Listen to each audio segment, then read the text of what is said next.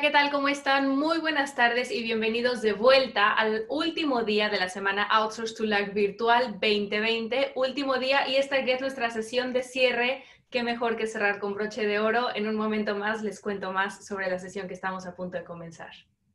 Desde hace nueve años, Outsource to LAC ofrece un espacio a compañías de servicios digitales globales de la región, donde tienen la oportunidad de aprender directamente de las empresas que están innovando en sus sectores tanto a nivel regional como a nivel global. A lo largo de estos ocho días tuvimos speakers de primerísimo nivel acompañándonos, que nos hablaron de temas como educación en línea, una sesión súper práctica de e-commerce, tuvimos una, una, presentación muy interesante sobre emprender en tiempos de COVID, esta mañana hablamos de PropTech, hace rato hablamos de ciberseguridad, animación, videojuegos, streaming, en fin, una variedad de temas que sin duda nos dejaron con muchísimo que pensar para los siguientes días. Ojalá hayan disfrutado de estos webinars tanto como nosotros y si por alguna razón no pudieron acompañarnos en vivo, no se olviden de ir a odoslackvirtual.com para poder seguir viendo los videos que estarán disponibles hasta finales del próximo mes. Para mí es un verdadero honor el día de hoy presentarles eh, a esta sesión que se titula Cinco herramientas imprescindibles para organizaciones en transición. Nos acompañan hoy desde Cisco Pedro Suárez, líder go-to-market de Cisco América Latina, y Pablo Marrone, gerente de la práctica de colaboración de Cisco América Latina. Today's session will be delivered in Spanish and we will offer simultaneous interpretation in English. We invite you to locate the interpretation button at the bottom of your window. Los invitamos a que compartan sus preguntas en el chat, ya que los moderadores estarán interactuando con nuestra audiencia en ese formato. Por último, invitarlos a que al terminar la sesión nos acompañen unos minutitos más, pues tenemos una presentación muy especial para ustedes como cierre de este evento. Pablo y Pedro, muchísimas gracias por acompañarnos el día de hoy. Les dejo la palabra. Gracias, Isel. De verdad que es un placer para nosotros estar aquí esta tarde haciendo parte del evento. Eh, somos privilegiados de tener la oportunidad de cerrar en esta ocasión toda esta, esta eh, serie de sesiones tan interesantes que se han venido eh, presentando a lo largo del Outlook. Eh, nosotros estamos acá representando a Cisco, como, como decía hace un momento, yo soy Pedro Suárez y estoy en Cisco en todo lo que tiene que ver con go-to-market, es decir, cómo llevamos los mensajes de nuestras soluciones a los clientes, al mercado. Y me acompaña mi colega Pablo Marrone, que se va a presentar ahora. Gracias, Pedro. ¿Cómo están todos? Buenas tardes. Buenas tardes, Costa Rica. Buenas tardes, Colombia. Buenas tardes, mi Buenos Aires querido. Este, gracias a todos los que se están juntando con nosotros. Es un placer. Es un placer además que nos, hayan, nos permitan cerrar este, este evento fantástico. Como Pedro decía eh, eh, ahora en su introducción, tenemos mucho tiempo trabajando juntos, en distintos roles, en roles similares y en este último tiempo, muy juntos, ayudando a las organizaciones en esta, yo lo diría, tal vez no es políticamente correcto, pero transformación a las patadas, donde nos impulsó la pandemia. Y muchas veces nos quedamos conversando qué es lo que más aprendimos, ¿Qué en estos 90 días, en mi caso 120 de cuarentena, ¿Qué es lo que más aprendimos? Si tuviéramos que ser sucintos y resumir y a partir de eso nació esta sesión, donde queremos compartir con ustedes lo que creemos son cinco elementos, cinco herramientas, cinco aprendizajes imprescindibles para organizaciones en transición. Y Pablo, eh. por cierto, de lo que vamos a hablar el día de hoy, y creo que quiero, por alguna razón, de verdad enfatizar en este tema, es que estamos hablando de cosas de impacto de la vida real, con las que hemos visto a muchas organizaciones lograr no solamente superar los desafíos que les han impuesto las cosas externas que están pasando, sino también pensar en la preparación. Porque hoy, hoy estamos ante esta situación de COVID, pero hemos estado en otras situaciones anteriores, huracanes, eh, terremotos, y, y siempre va a haber toda clase de eventos que nos van a poner a prueba como seres humanos, como organizaciones y en el entorno en el que estamos eh, desempeñándonos. Entonces, hablando de todos estos fenómenos, eh, cuando viene la tormenta, generalmente sentimos un montón de ansiedad, un, montón tal vez de miedo, tal vez de, de, ese, Pedro, tal vez, esa incertidumbre. te interrumpo, tal vez antes de seguir con nuestros sentimientos le podemos preguntar a la audiencia. Yo estoy viendo, claro, ¿cómo eh, John, Héctor, David, ¿quiénes de ustedes se sienten en crisis? En transición estamos todos, ¿sí? No voy a empezar por ahí. ¿Quiénes se sienten en crisis? Porque así, de eso vamos a comenzar hablando. ¿Quiénes de ustedes se sienten desafiados? En el chat, en el Q&A, estamos, estamos viendo todo. Porque como Pedro, este, era lo que estabas diciendo, ¿no? Nos, reunimos con clientes todos los días y muchas de las conversaciones, Luis pone, puso todos en mayúsculas. Pero yo, este les pregunto porque eh, hay, hay, motores para el progreso de la humanidad. Uno de ellos es el temor, el miedo, es una manera de decirlo, ante algo que no conocemos. Y el otro es la inspiración hacia hacer las cosas diferentes, a poder mejorar. Coloquen por favor en el chat si en este momento lo que más les está moviendo es temor o miedo o si es energía para hacer cambio. está súper interesante. Mira, están volando las respuestas. Alguien pone temor frente a la inversión. Otro, otro, otro muy interesante dice desafiado, no en crisis. Energía para crecer, Incertidumbre, reto, restos fantásticos al futuro, ¿sí? Ser López dice energía para crear cosas nuevas. Tal cual. Y, de eso queremos hablar porque, caramba, gran parte y, la vida real refleja un poco estas respuestas. Tal vez más de la mitad de energía para el cambio, eh, Pablo. energía y ahí queremos ir. Porque mucha de la gente que nos reunimos, este, y estoy de acuerdo con esas respuestas, dicen, oye, mi modelo de negocio se destruyó. Hace cuatro meses no facturo un centavo. Creo que a muchos les va a resonar. En una conferencia como esta, una persona de la pyme de Argentina nos ponía el otro día, administro centros de esquí, la nieve está fantástica, tengo todo cerrado. ¿Qué hago a partir de ahora? Entonces, claramente hay, hay, hay situaciones que llevan a que decir, oye, todo está transicionando de un modo que es malo, todo está poniendo muy en riesgo lo que construí durante un tiempo. Ahora les quiero contar también, y, tenemos historias de el otro extremo. Los que están diciendo, descubrí algo nuevo. Y con los organizadores del evento charlábamos mientras estábamos en la precesión, ¿no? ¿Cómo será el próximo evento? ¿Qué se descubrió a partir de esto? Porque hay muchos casos donde, donde lo que hay es la generación de nuevos modelos de negocio. Yo hablaba ayer, Pedro, y, le comento a la audiencia mientras sigo leyendo los mensajes, energía, está diciendo uno. Siempre hay que producir cosas, dice Gioconda. Hablaba con el dueño de una cadena de restaurantes que me decía, Pablo, nosotros éramos totalmente físicos. Cuando esto empezó sentí que me moría. Hoy descubrí el e-commerce. Tengo una nueva versión para mi negocio. ¿Qué me dices? Mira, Pablo, quiero compartirte este ejemplo y a toda la audiencia, porque este es un ejemplo como el que mencionas. Estamos hablando de un aprendizaje que tiene mucho que ver con lo que decíamos al, a lo que viene externo y que no podemos controlar. Hoy COVID, mañana, no lo quiera Dios, puede ser un huracán, un terremoto, cualquier tipo de amenaza la clave, y esto es la enseñanza que este cliente nos ha compartido en, ese best practice, es preparación. Estamos hablando de una compañía en México, en Monterrey, eh, en el sector de medicina, en el sector de salud, se llama Well Medic. Y fíjate lo que pasó con ellos. Empezaron a interesarse, a preocuparse por el tema de digitalización, por temas de competitividad, por temas de eh, cambios y mejoras a su modelo de negocio y venían ya pensando y buscando alternativas para modernizar en ese sentido desde hace un año atrás. Viene, viene toda esta situación de la pandemia y ellos ya tenían algunas cosas avanzadas.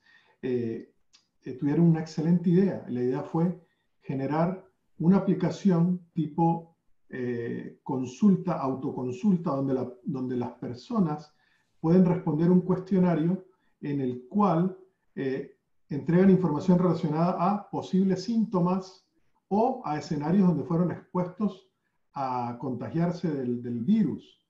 Eh, la aplicación que tiene, tiene Machine Learning e inteligencia artificial genera un score, un, puntaje de riesgo, y en función de ese puntaje, automáticamente le hace una consulta con un doctor de la red de WellMedic. Si le hace el appointment, le hace la cita médica y cuando llega el momento los enlaza en una sesión virtual para la teleconsulta entre esta persona y el doctor. Adivina qué pasó en estos tres meses anteriores para WellMedic, Pablo. 20.000 consultas virtuales con los doctores de WellMedic en tres meses y atendieron. De un negocio que no existía, de algo que no existía. No existía. o sea, de 0 a 20 mil. Piensen lo que están comentando, ¿no? Aquí habla de construcciones, aquí habla de turismo, aquí no... De 0 a 20 mil. Y respondieron a más de 3 millones de personas en la aplicación. O sea, interactuaron 3 millones que hicieron las preguntas, atendieron 20 mil. En las consultas solamente de las 20 mil fue 400% de crecimiento con respecto al año anterior. Entonces, se definen nuevas maneras de hacer negocio, se definen nuevos marcos de competitividad, diferenciación y se descubren muchas cosas. Imagina todo lo que ellos aprendieron de 3 millones de personas interactuando con ellos en forma proactiva, donde ellos no tuvieron que ir al cliente, el cliente, el paciente vino a ellos. ¿ah? Es increíble, las posibilidades son muy, muy grandes. Y, vamos a dar elementos, Pedro. Hay una pregunta de Maxine que pregunta en English to you, Maxine, that are, asking in English, what does Cisco have in place to assist micro enterprises?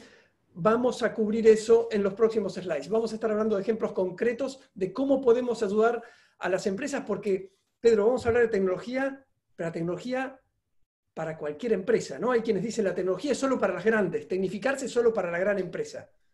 Dijo una persona acá que me pareció muy lindo el mensaje y, le agradezco mucho por, por compartirnos esta, esta, esta, esta parte más personal. Dice, gracias a la situación y el desempleo que me causó, ahora soy pionero de un negocio en Internet.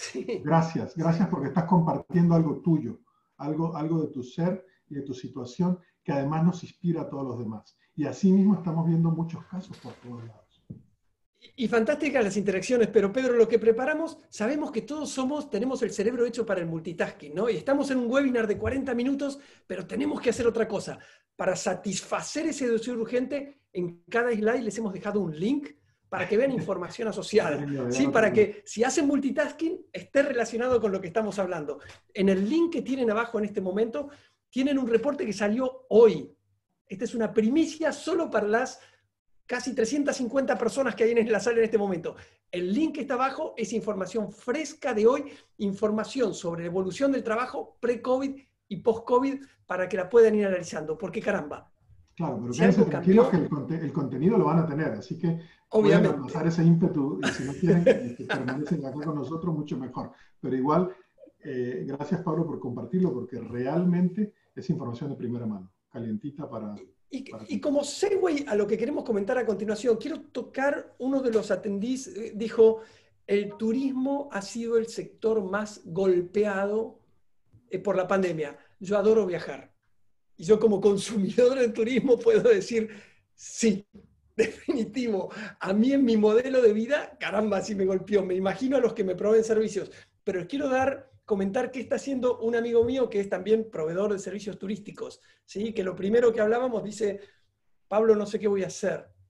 Transformó todo su knowledge, ahora tiene un ciclo de podcast, está generando videos y hace conferencias sobre turismo. Entonces, transformó todo su conocimiento para mantener a su mercado activo, a quienes consumíamos productos de él, nos está abasteciendo de distintos modos para primero fidelizar al cliente y que no perdamos el ímpetu para estar listos en cuanto vuelva. Porque en definitiva, tenemos que pasar de la crisis a repensar, como decía Ivonne, a generar algo nuevo y a rebotar hacia arriba.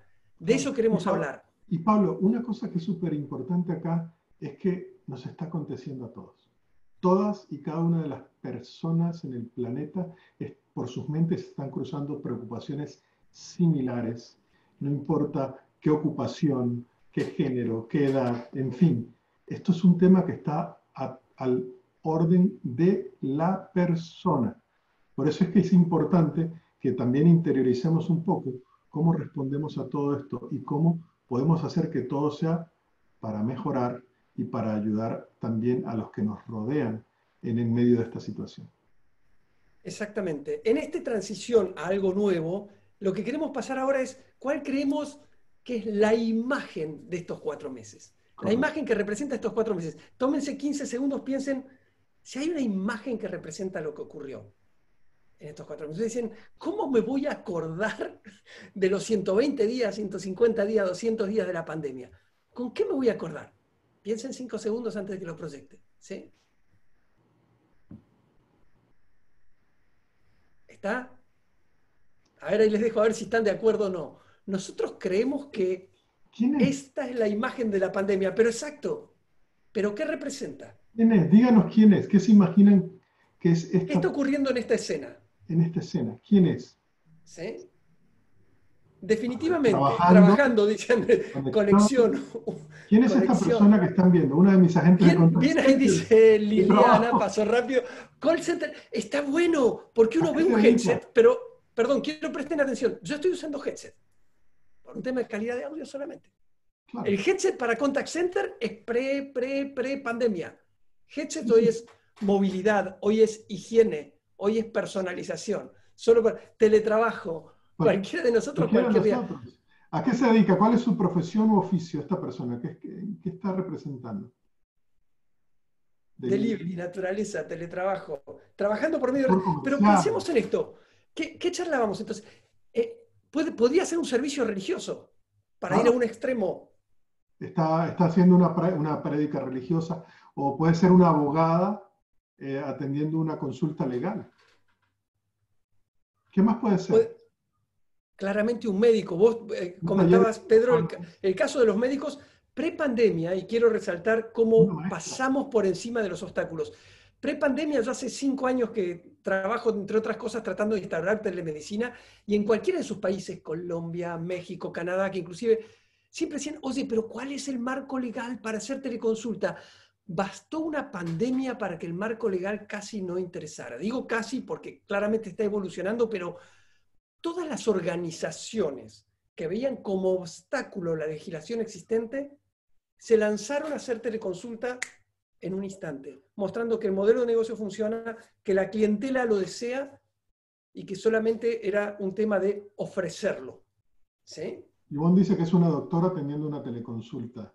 Una doctora, por ejemplo. Es una maestra dando clases a los niños. Bueno, Ahí bien, pero bueno. Muchas, muchas eh, ideas eh, y, realmente puede estar haciendo cualquiera de todas estas cosas que hemos mencionado. Puede estar haciendo una venta, puede estar básicamente haciendo una actividad.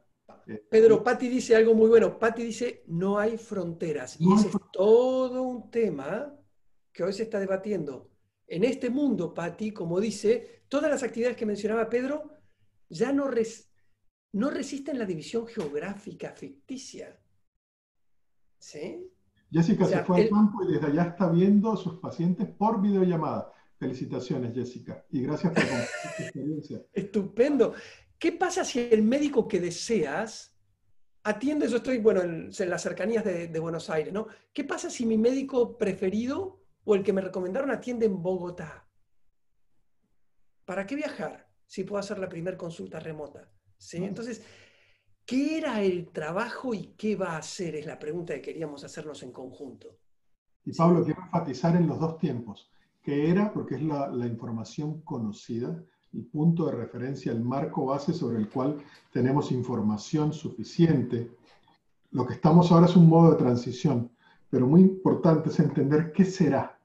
Por eso les queremos compartir este paper de Future of Work, el que está en el link abajo, porque habla mucho de esto, pero te voy a dejar que expliques un poco más, porque es realmente fascinante esta parte de la conversación. Sí, me, me, flipié, me leyendo el comentario de Alonso, que es de las cosas que yo me pienso al dormirme, ¿no? Alonso pone, ¿qué aprendieron en la pandemia que les hizo replantear algo importante en su vida? Y eso, Alonso, es el punto. Lo voy a aterrizar solo a esta situación. A mí me hizo repensar si quiero o no quiero volver a la oficina y cuánto tiempo quiero ir. ¿Cuánto valor tenía antes, cuánto ahora? ¿Qué es lo que hoy, para relacionarlo con nuestra sesión, estamos hablando con todos? ¿Tienes un lugar físico para ir? ¿Te juntabas ahí con todo tu equipo? Sirve seguramente. ¿Hacía falta que todos fueran todos los días? Más o menos. ¿Te limitaba porque al ser físico restringía con quiénes colaborar? Claro que sí. Y esto lo ha hecho evidente. Entonces, ¿qué era el trabajo? Típicamente, y sobre todo para Latinoamérica, en algunos países ya había una concepción más dinámica, pero claramente para Latinoamérica el trabajo era un lugar. Sí, totalmente. Voy a trabajar, voy a trabajar, es la frase. Vean esa imagen de la persona de la derecha y pónganle el nombre que ustedes quieran, llamémoslo José, Juan, porque después vamos a hablar de él más adelante en otra parte de la sesión. De él. Ahí perdona, ahí Elena, espera, quiero capturar algo. Elena dice, mi oficina tomó hoy la decisión de pasar a full work for home. Y está pasando, ¿sí?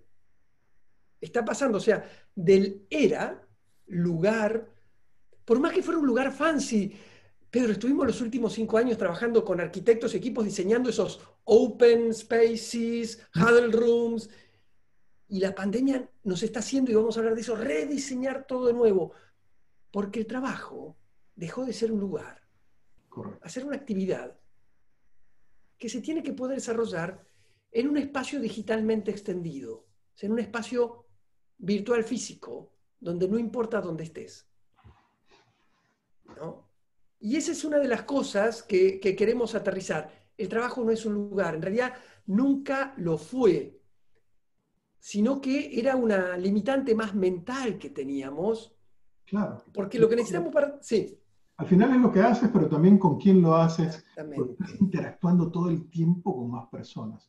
Lo que también cambia un poco es el concepto de la interacción que veníamos acostumbrados a tener, donde como está en la figura del lugar tradicional, estamos más cerca físicamente, a este momento de transición en el que tenemos que repensar cómo son esas interacciones. Seguro. Y Pedro, acaba de pasar un comentario, lo quiero pescar, se me fue para arriba, no vi el nombre, pero dice, no hay que dejar de pensar en la seguridad. Qué acertado que está, en un instante nos ambullimos en el tema, pero claro que sí. Pero primero vamos a esto, lo que, Pablo, lo que Pedro llamaba las interacciones. El concepto que queremos atraer aquí con ustedes, el concepto que queremos traer aquí con ustedes, es que toda interacción es una reunión. Hace mucho tiempo que estamos con Pedro en el mercado de las telecomunicaciones, la colaboración, pero cuando nosotros empezamos, la premisa eh, de la, del trabajo era, trabajo con quienes están al lado mío y además necesito un sistema de llamadas. Y punto. Y estamos bien. Y con eso todo está, todo está suplido, no hace falta más. Ahora deténganse un instante. Yo los quiero invitar a pensar que toda interacción es una reunión. ¿Por qué? Su día a día, ¿cómo es? ¿O están con más de una persona? Ahora, hoy, en plena pandemia, claramente uno de los dos va a estar remoto, porque la mayoría no podemos ni salir de nuestras casas. O están compartiendo algo. Y cuando vuelvan, esto no cambia. O son más de dos, o uno está remoto o está compartiendo algo el sistema de llamadas ya no alcanza más. ¿Sí? Tenemos que conectar personas y contenido y eso es una reunión. No es conectar personas, no es una llamada. Hola Pedro, te llamo. Si lo que queremos es crear, trabajar, ¿sí? Mientras si me ven que miro para acá es porque estoy mirando las, las, las preguntas, a ver si sale algo relevante.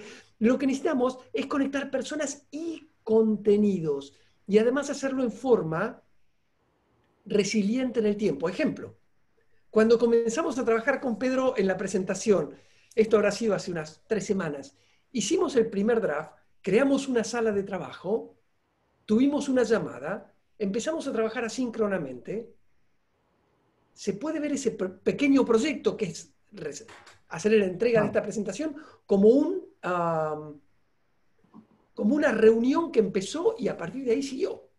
Y nunca terminó. El dónde siempre fue relevante. Podía estar cualquiera de nosotros en cualquier lugar.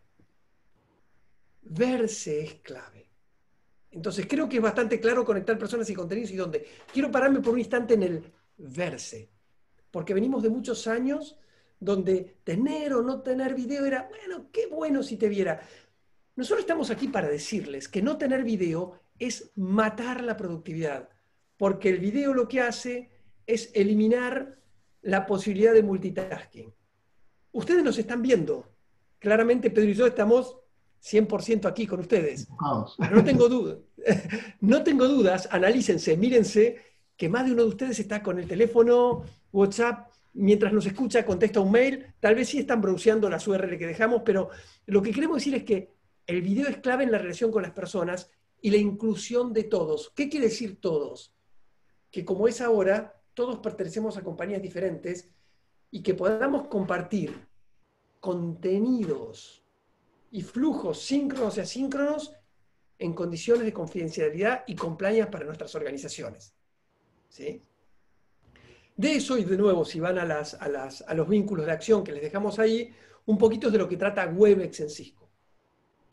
Entonces, eh, a Maxine que nos pregunta herramientas. Primera herramienta de la que vamos a hablar, Maxine, Webex.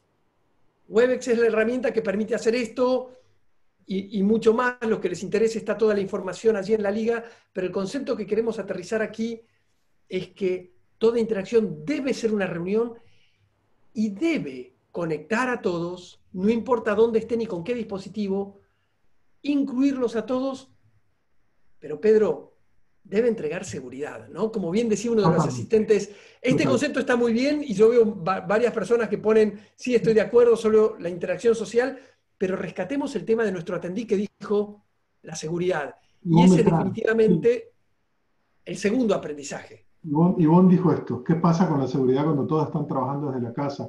Y Ivonne, tienes toda la razón. Es súper importante, no se puede dejar esto de segunda mano, es súper, súper relevante para la conversación, porque realmente de lo que estamos hablando acá es que se transformó totalmente la disposición de cómo está todo el mapa de recursos de la organización, de la empresa. Pensemos por un momento en lo que era la red.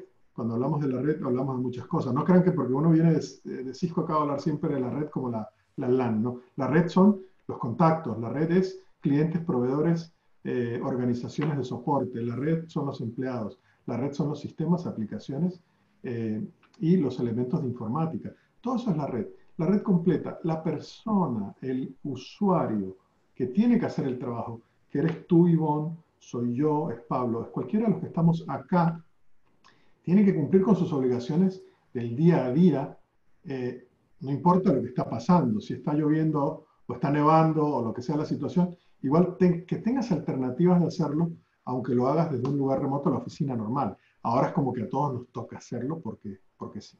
Entonces, ¿qué mejor que llevarle la oficina a la casa? Si logramos llevar la oficina a la casa, eh, y es muy fácil, ¿eh? no crean que es una cosa eh, dantesca, que es un proyecto de altísima complejidad. Es poner una antena, un, lo que llaman un punto de acceso del, del Wi-Fi de la empresa en la casa, conectado por internet, pero que ya tiene un túnel de seguridad establecido permanente, con lo cual siempre estás en una red segura aún dentro de la casa. Y ahí le pones algunos elementos de software que te protegen. Tienes que protegerte en dos o tres maneras esenciales. La primera, necesitamos saber, Ivonne, que el que se está conectando es ese empleado que dice ser el que quiere entrar a los valiosos recursos de la compañía.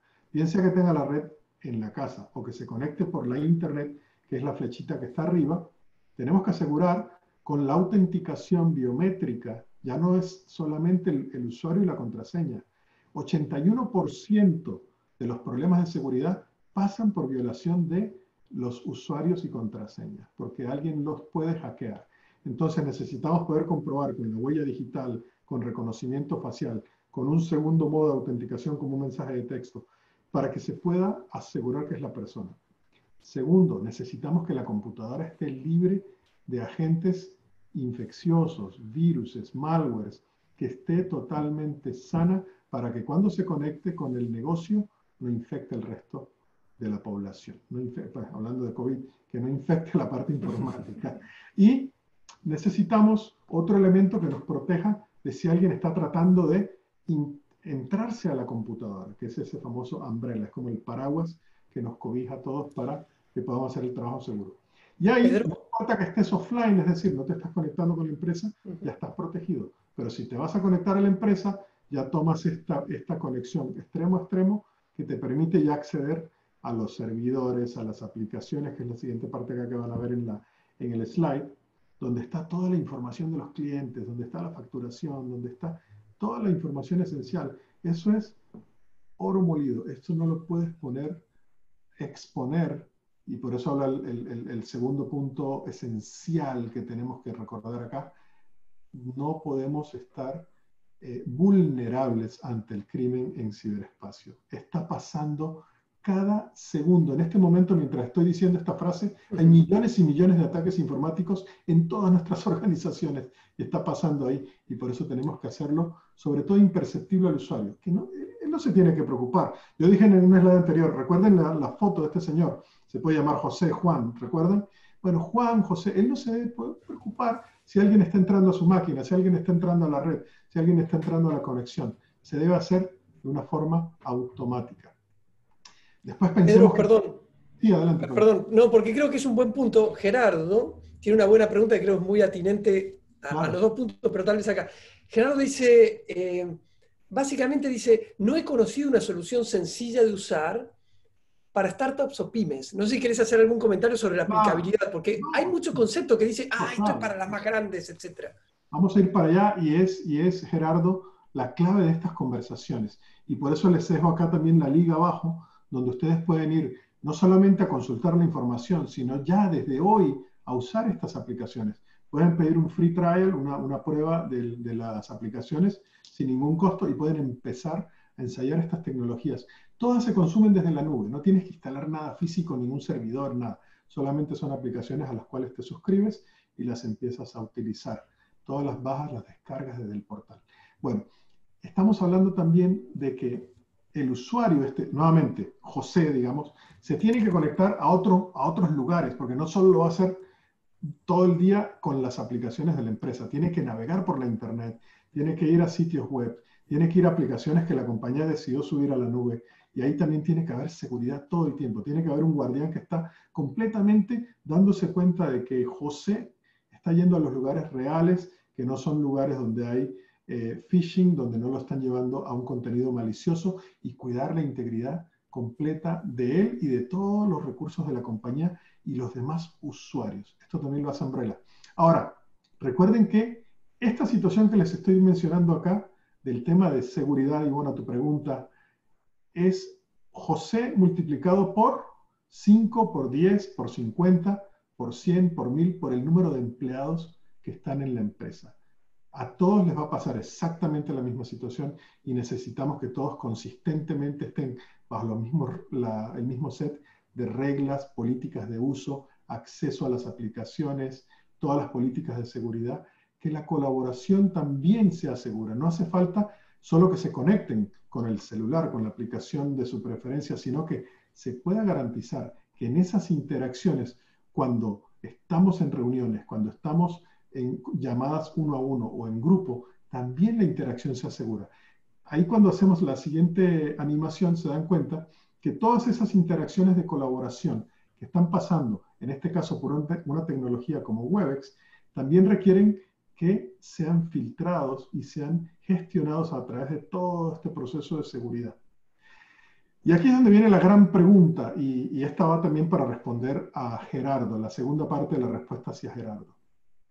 ¿Quién, y no necesariamente las organizaciones pequeñas y medianas, también las grandes, todas, quién tiene la capacidad de en tiempo real estar monitoreando cada vez que hay un nuevo malware, cada vez que hay un nuevo virus, cada vez que hay una nueva amenaza informática, para ir a actualizar todos y cada uno de los usuarios de los access points, de los puntos de red, es imposible para un ser humano hacerlo. Se necesita inteligencia artificial y automatización.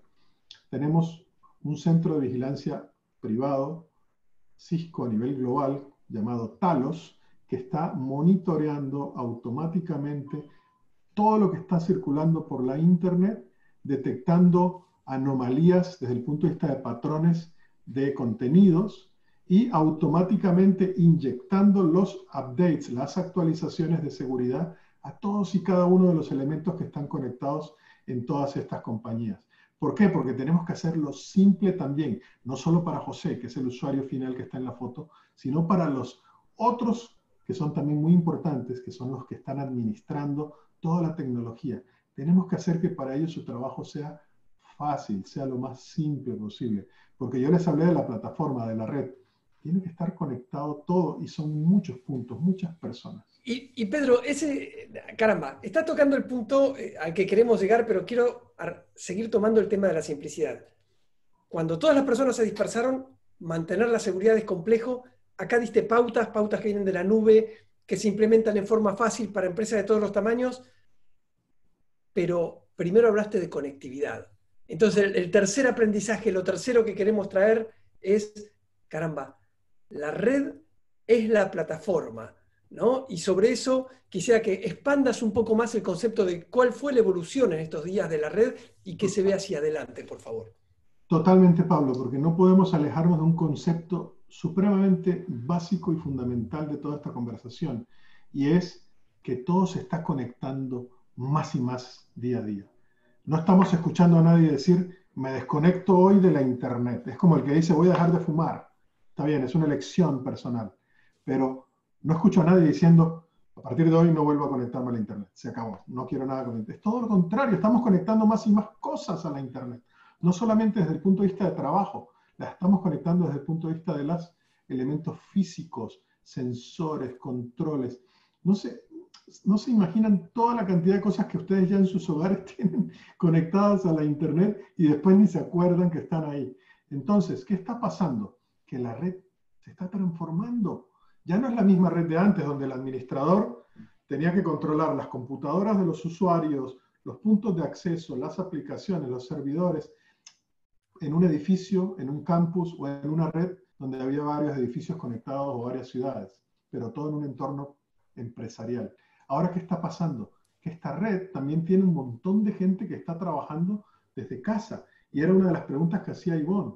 Ivonne decía, y ahora que están en casa, ¿cómo hacemos con la seguridad? Que esa es una parte de la respuesta que te debía. Estaba esperando llegar a este punto de la sesión para podértela responder. Necesitamos que la red ahora evolucione de manera tal que pueda seguir viendo todos los temas de administración y gestión en cualquier punto, en cualquier elemento de cómputo, en cualquier elemento de comunicaciones, pero ahora también en los hogares. Este mapa que viene a la izquierda, donde dice eh, algunos nombres de, lugares, locations, Palermo, eh, Belgrano, etc. Esta, esta imagen es una imagen real de una red monitoreada donde todos esos puntos que ven ahí conectados son empleados que están trabajando desde casa y ya el administrador de la red puede ver lo que está pasando.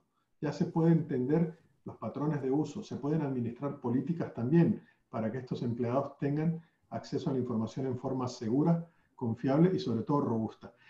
Ahora, ¿qué pasa? En el hogar hay otro micromundo, ¿no? Es otro, otro tema que solucionar, eh, porque esa red finalmente está enlazada por la Internet, que es pública y ahí se está compitiendo también por los recursos. Están los niños haciendo la tarea o están los niños tomando la clase virtual ahora, está eh, alguna de las personas de la familia consumiendo contenido en Internet de noticias o está viendo un streaming, un contenido, una película o escuchando música. Y en mi caso, perdón, quiero hacerte el caso real. En este momento, Pedro, en mi casa tengo un hijo de vacaciones de invierno que no tiene ni siquiera clases virtuales, PlayStation, y mi esposa tomando clases, tomando clases. Todo ese tráfico, un, solo link. Un solo link. Eh, un solo link.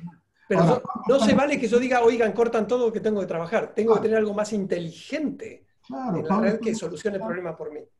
Lo mismo en mi caso. Acá tengo tres niños, está, mi hijo está en este momento en la PlayStation, mi hija está viendo algo en, Netflix. Eh, y no voy a estar detrás de ellos diciéndole, oye, para el Netflix porque voy a estar en, una, en un evento presentando. Entonces, ¿qué pasa? Podemos administrarlo también. Tanto desde el punto de vista corporativo, el administrador que maneja desde un punto centralizado todas las conexiones define políticas de uso genéricas, como digamos, aplicables a todos, pero también le da una cierta autonomía para que el usuario en, dentro de su casa, en ese punto de red que les mencionaba al inicio, que está administrados de la empresa para que su Wi-Fi esté administrado y gestionado, tiene un nivel de autonomía en la configuración de su red de la casa y puede decir cosas como, por ejemplo, quiero gestionar que los streaming sean a partir de las 5 pm, cuando ya todos hicieron la tarea, tuvieron la clase virtual, yo ya salí de mis reuniones principales y ahora sí pónganse a ver sus películas. O puedo también caracterizar a qué cosas le priorizo más el ancho de banda valiosísimo de la red y es por eso que el video de Pablo está continuo, no se interrumpe, no se pixelea, igual que el mío, porque está automáticamente siendo administrado por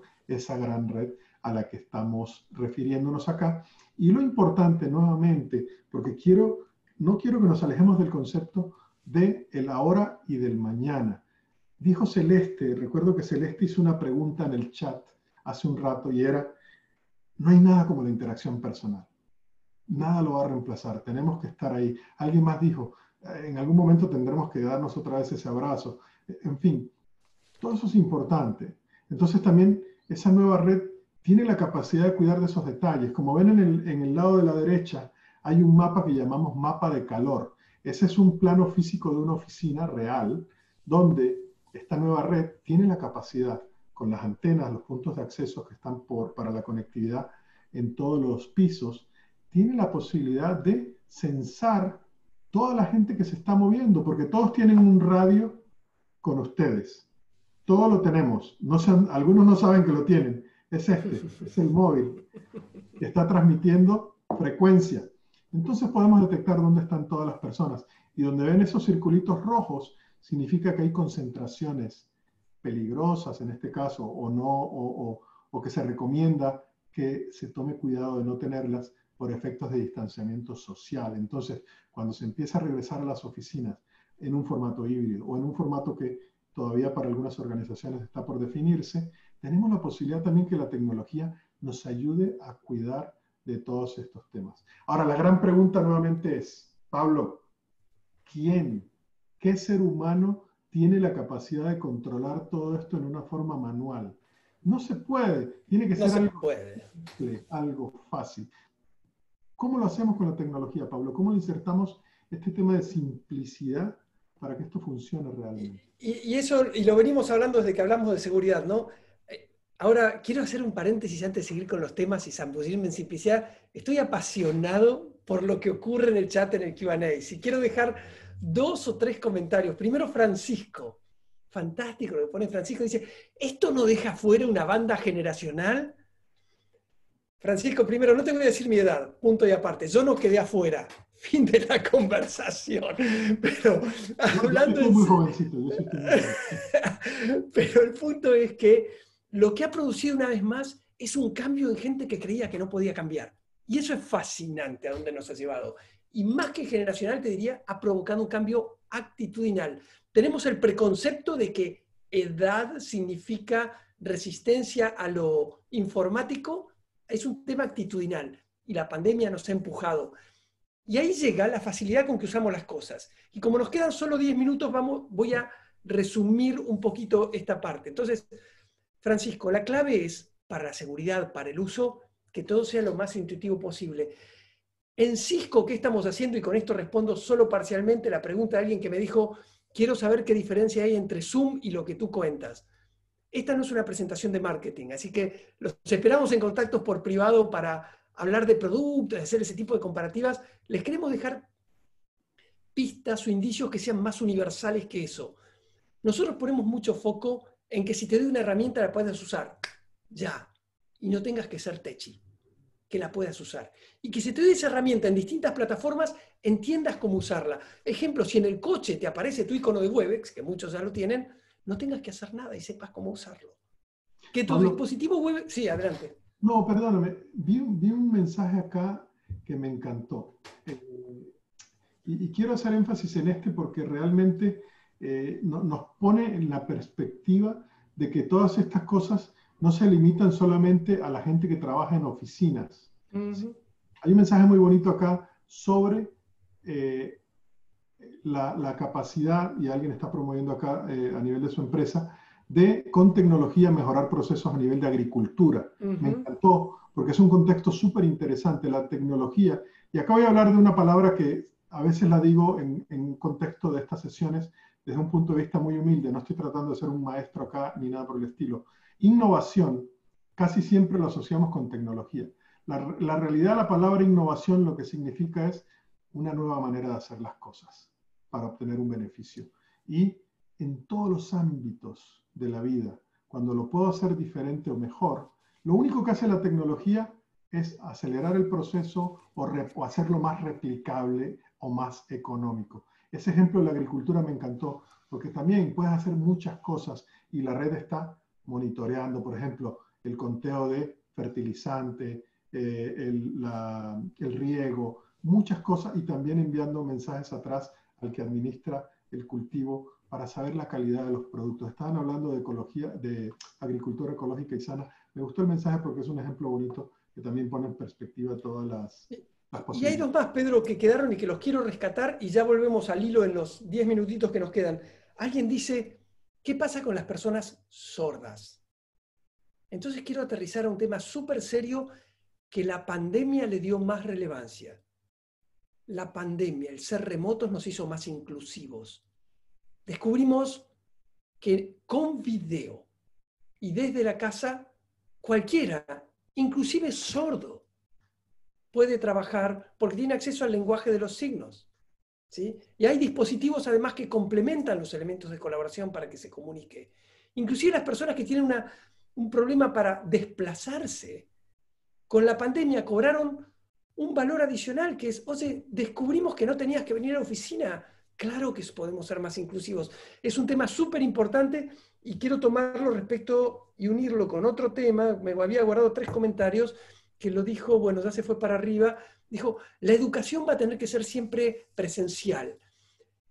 Sí, y entiendo el racional de eso. Ahora cuando hablamos del futuro, yo también quiero hablar de inclusión. Estuve esta mañana trabajando en un proyecto que gracias a la pandemia y al uso de Webex, llegamos, y Pedro, esto es en, en Colombia, un lugar que tú conoces súper bien, a barrios donde nadie entraba por ser barrios de delincuentes, y estamos dando clases, no estamos, yo no soy profesor, se está, con el sistema se está dando clase a niños, hijos de delincuentes donde nadie se animaba a entrar en forma remota. Entonces, claro, la educación tradicional como la vemos requiere lo físico y siempre lo va a requerir, pero la inclusión que produce esto, de nuevo, si quieren verlo, es un nuevo modelo de actividad, un nuevo modelo de negocio, de actividad. ¿Qué fue clave? Y quiero volver al tema que nos lleva, la flexibilidad y la simplicidad. Cuando llegamos a este punto, eh, Pedro y, asistentes, mucha gente dice, o sea, bien lo que están hablando, pero como puso uno, pero entonces, ¿qué es Webex? ¿Sí? Porque alguien dijo, y tengo otro comentario guardado, ah, está muy bien la interacción, pero ¿y los contenidos? Y quiero relacionar las dos preguntas. Esto es Webex. Lo que estamos haciendo, ¿sí? Eh, no importa el, el brand Jitsi, Zoom, Big Blue Button, Whereby, whatever. Eso podría decir, eso es Webex, es una tecnología que existe hace muchísimos años. Pero hasta ahí solo nos vimos, solo interactuamos. Recuerden, cada interacción es una reunión. Webex es la plataforma. A ver, a ver, Pablito, solo una pregunta. O sea, Webex no es una app. ¿Es más que una app? Webex, Webex se consume a través de una app configurable, modular, pero es una plataforma en la nube que me provee todos los servicios de interacción, mensajes, llamadas, la seguridad. Alguien puso, ¿cómo garantizo compliance? Webex y su diferencial frente a todo el resto de lo que existe en el mundo, tiene el compliance más alto del, del, planeta. Lo usan las organizaciones más seguras del planeta. Transcurre, lo puedo consumir desde cualquier dispositivo, como tú dices, la app, si solo veo eso, o el dispositivo, ¿sí? Webex es también, tú dices, me reúno, ¿puede dar telefonía? Sí. Webex Calling en Latinoamérica me da telefonía. Webex es también este dispositivo y dices, o sea, ¿de qué me sirve un headset de Webex? Que lo administro desde la misma nube. El teléfono, la computadora, la aplicación, la sala, los dispositivos que me dan, me miden la cantidad de personas en una sala con la cámara. Todo eso lo administro desde el mismo lugar. Para ustedes que desarrollan aplicaciones, para ustedes que hacen extensiones de los productos, Webex es una plataforma infinitamente extensible. Pero lo que queremos decir, aterrizado al punto de esta reunión es que cumple con generar ese paradigma de que toda interacción es una reunión que es segura, es simple y es cursada inteligentemente por la red. Y alguien dijo, ¿cómo se compra? ¿Cuánto cuesta? ¿Existe free? Sí, por supuesto que existe free. Claro, puedes sacar tu suscripción eterna gratis para toda la vida y la usas, pero para quienes están en una empresa que necesitan eh, más variedad de servicios, más profundidad en el soporte, entonces se consume en forma de suscripción. ¿sí? Eso es, un poco para, para ver la simplicidad de, la que estamos eh, hablando.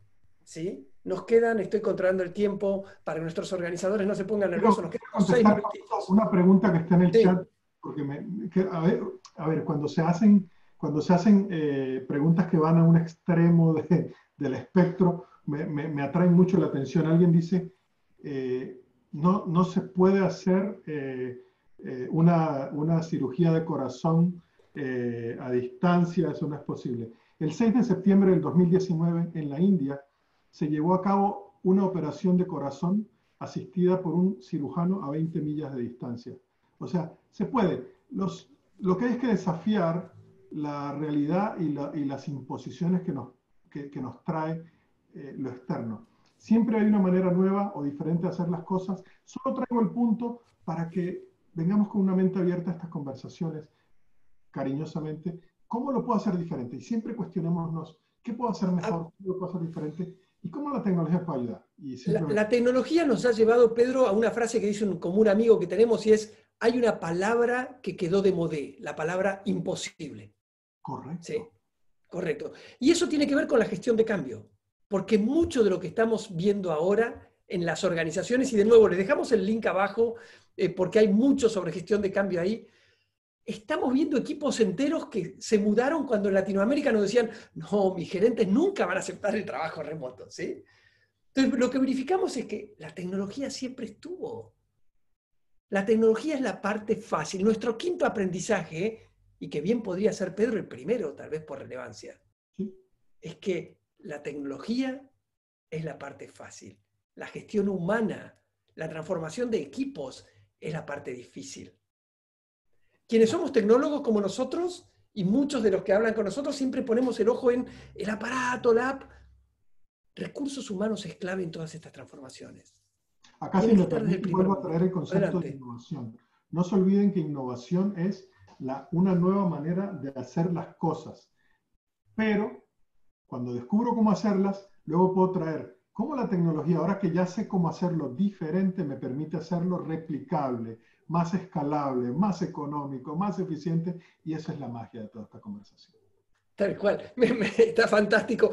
Para Cristian, que dice, ¿cuál era el cuatro que justo me fui? Cristian, tienes la grabación, pero el cuarto era flexibilidad y simplicidad, ¿sí?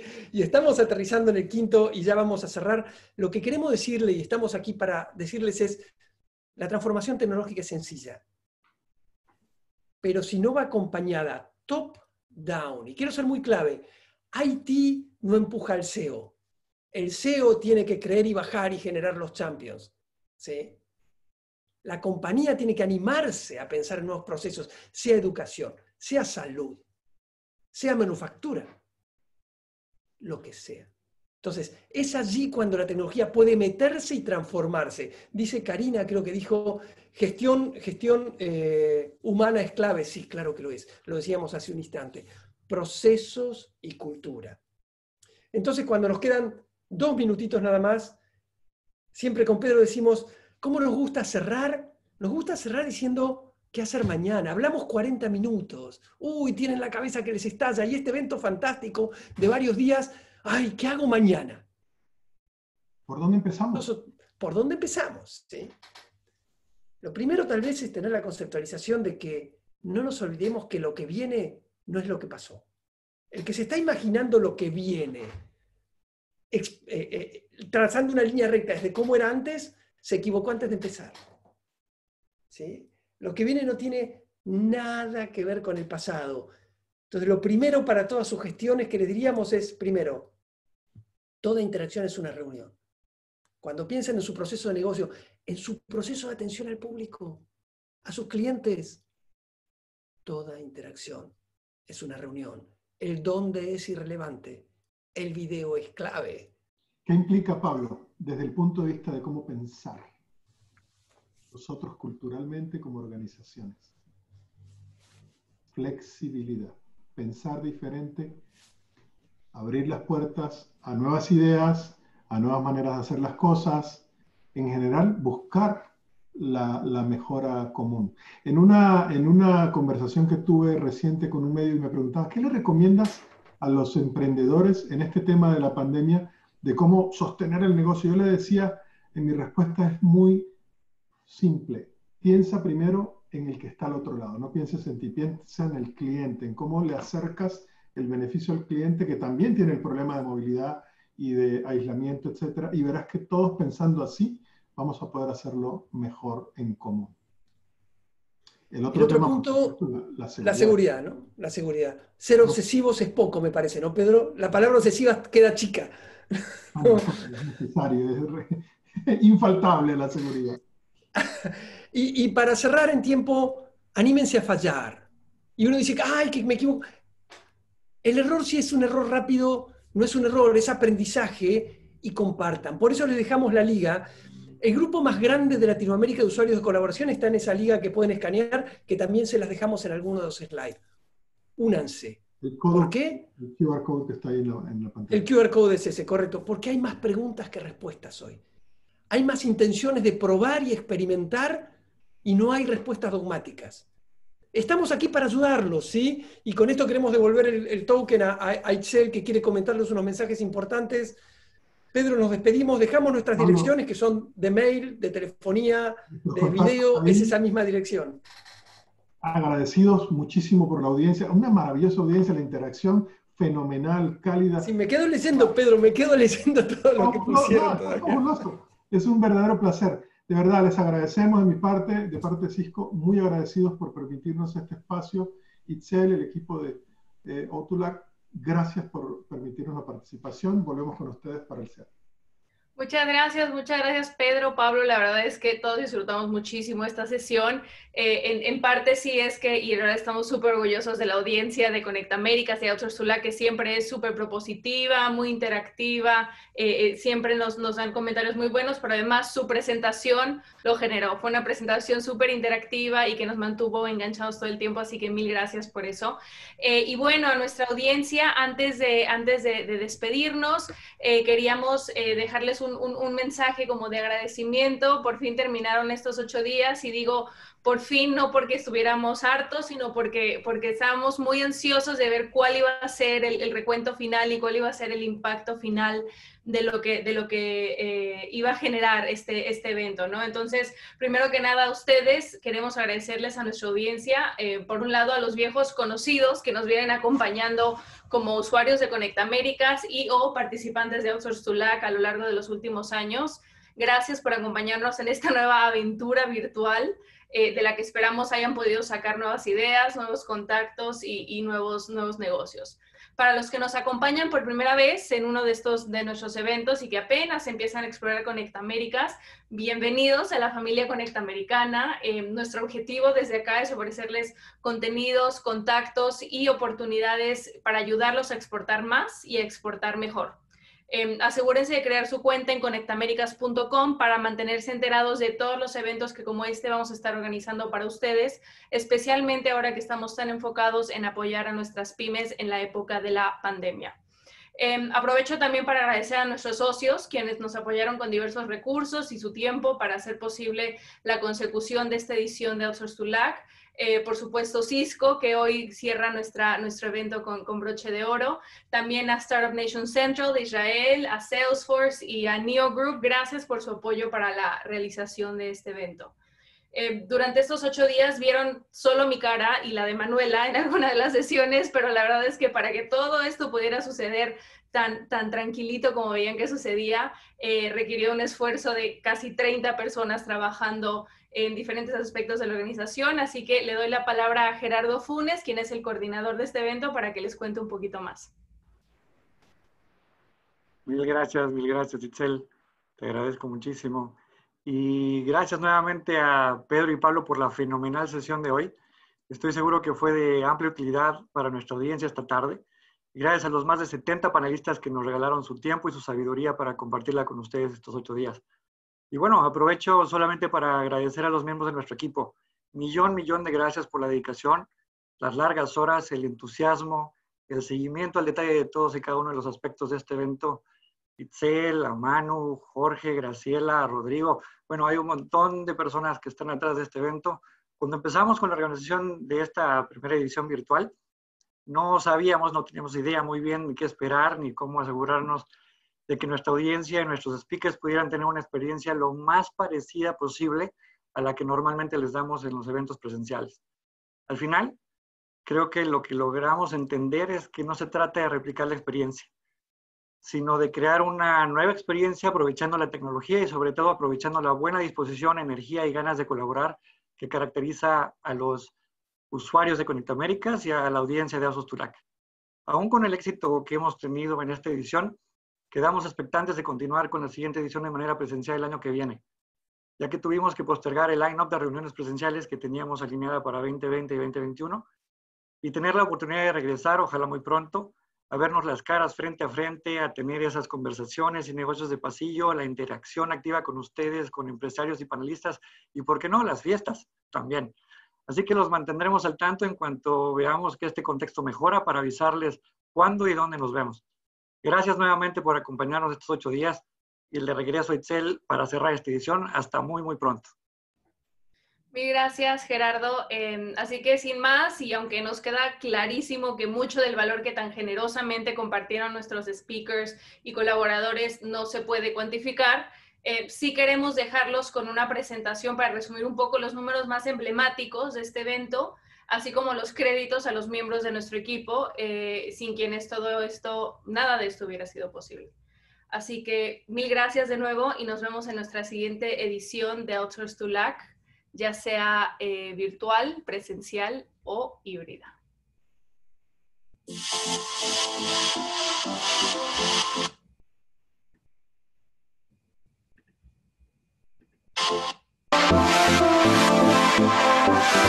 Thank